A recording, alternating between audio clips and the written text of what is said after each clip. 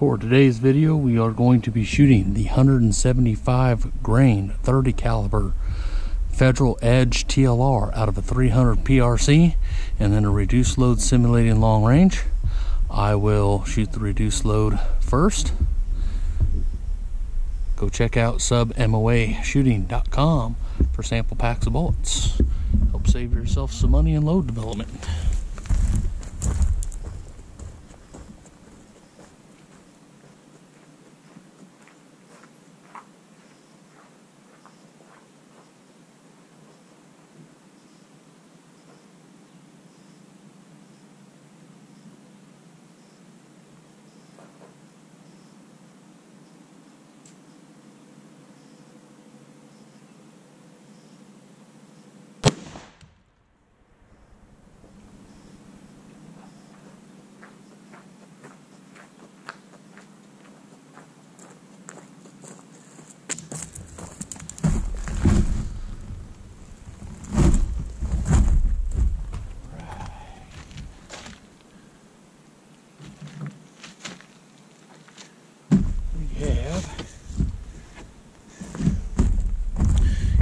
See it a little bit better from the top here and I'll go over these in more detail.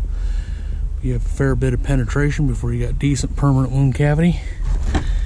And then it actually exited the side of my block about here.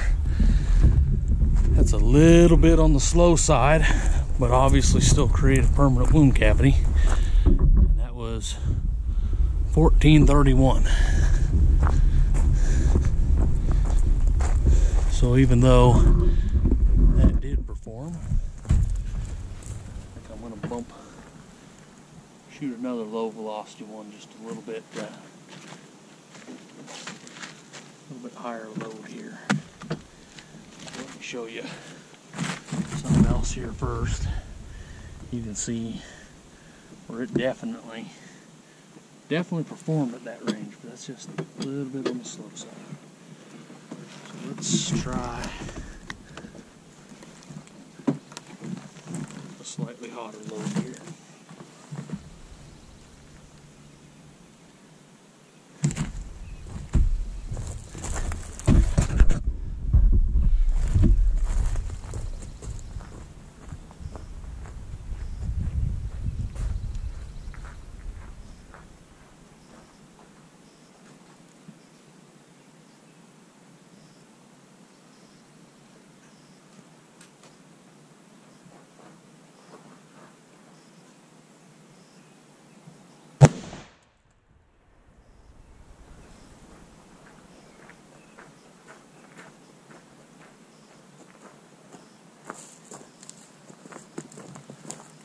All right, you can definitely see that better permanent wound cavity.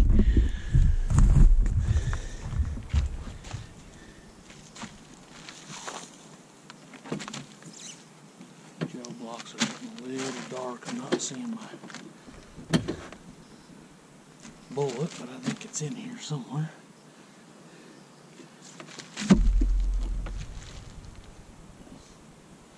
No, it's not. Definitely better permanent wound cavity, but there's where that one came out. Just a little bit. A little bit less penetration before it veered out the side, but definitely per better permanent wound cavity and starting sooner. So let's go ahead and flip these blocks and shoot a high velocity.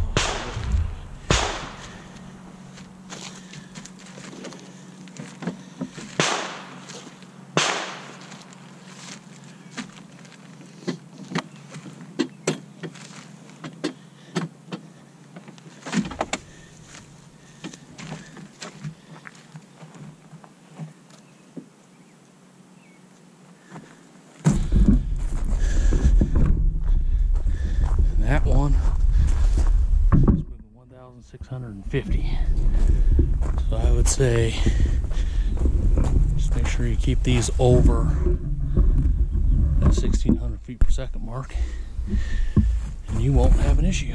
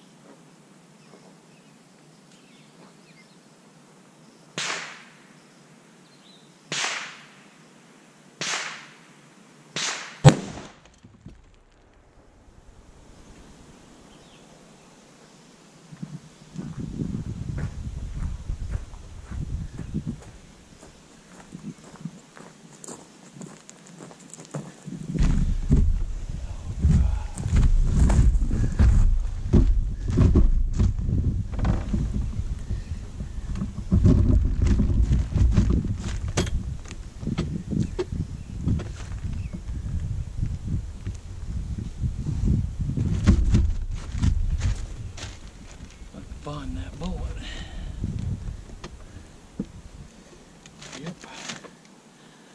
There's that high velocity load.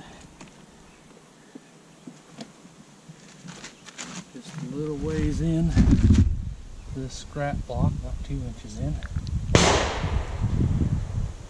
For over 30 inches of penetration. Good massive permanent wound.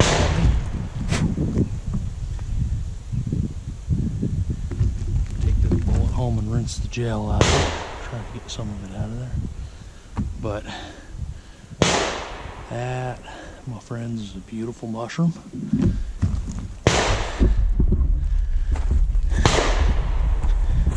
And that one was moving. 3,251 feet per second. Since I've started testing the federal premium lines of bullets, I've been thoroughly impressed with the TLR and the trophy bonded tip. I've only tested the Ascents in the 130 grain 6.5 so far and definitely not impressed with them on the low velocity but on the high velocity they perform similar to these they just definitely need that 1800 to 2000 feet per second versus these TLRs but man that's what you're wanting nice big explosive wound cavity carrying all the way to 30 inches of penetration. Going to get good exit holes. I think you'd be hard pressed to find a better performing bullet on the market. Hope you guys enjoy the video.